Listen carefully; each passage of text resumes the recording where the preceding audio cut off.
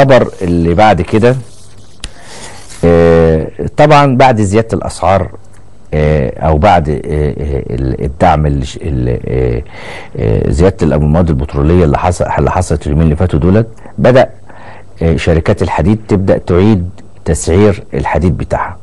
فهنا في خبر أكد وكلاء الحديد والتجارة والتجارة في مصر عدم معرفتهم بالأسعار الجديدة لطن الحديد حتى الآن بعد ارتفاع أسعار البنزين مؤكدين أنهم يبيعون بالأسعار القديمة حتى الآن. هو في الحقيقة لحد دلوقتي يعني من من يوم العيد لحد النهارده يمكن الحاجة الوحيدة اللي شهدت ارتفاع في الأسعار هي الأجرة بس. إنما حتى الأسعار التانية لسه ما ظهرتش آه، الزيادة بتاعتها. وأضاف أن أسعار الحديد من الممكن أن تشهد زيادة زيادات تدريجية نتيجة الارتفاع التي ستشهده تكلفة النقل فقط لكن طالما أسعار المواد الخام العالمية ثابتة فإن حجم الزيادة في سعر طن الحديد لن يكون كبيرا وأشار إلى أن الأسعار الجديدة لن تعلن حتى الآن. وتباينت اليوم اللي هو الأربعاء أسعار الحديد بالأسواق وسجل سعر حديد سعر الحديد عز 12550 جنيه للطن. طبعا ما زادش بعد زيادة لسه.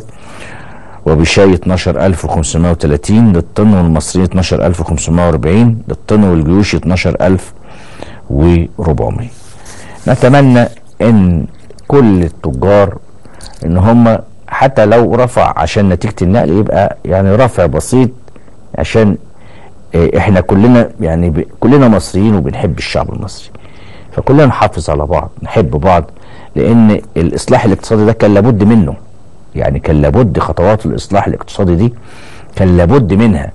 ما هو انت النهارده ما ينفعش تفضل الدولة شايلة دعم شايلة شايلة الدعم شايلة شايلة شايلة شايلة شايلة. الدولة هتفلس. كان لازم خطوات الإصلاح دي إن هي يتم آه، آه، آه، كان لابد منها. لابد إن الدولة تبدأ في خطوات الإصلاح دي من زمان. يمكن من أكتر من 30 سنة كان المفروض الكلام ده كان كان يتم. لكن التغيير اللي بيحصل يعني كان دايما حتى كان في مثل أجنبي كان دايما يقول إيه why should I change يعني ليه لابد إن أنا أغير؟ لما يكون موضع كارثي يعني لما يكون إحنا وصلنا لمرحلة إن بقت الدولة مديونه وعجزت وبقت ضعيفة لابد إن إحنا نشيل عن كاهلها نشيل عن كاهلها. آه في خطوات المفروض أولويات لازم تتم لكن لابد كان من الخطوة دي عشان الدولة تفوق.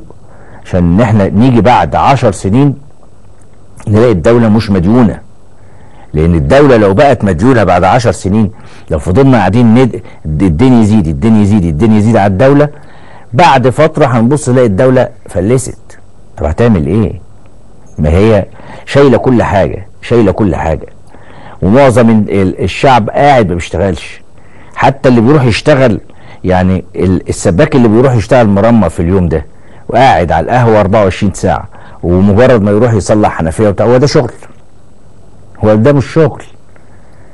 ال- الموظف اللي بيروح يقعد ساعتين في الشغل بتاعه ويروح يشرب شاي وبتاع هو ده شغل. ده مش شغل. ده مش شغل. ال- المدرس اللي يروح يروح يقعد في الفصل وما بيشتغلش وبتاع وعامل حسابه على الدروس الخصوصيه هو ده شغل. ده مش شغل.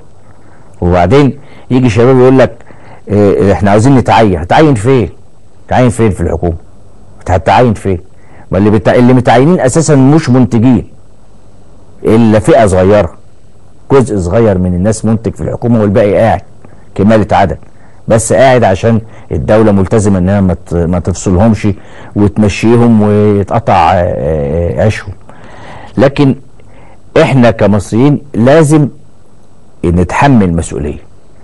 لازم لما يبقى في خطوات الاصلاح الاقتصادي لازم كلنا نبقى عارفين إن ده لصالح المصريين.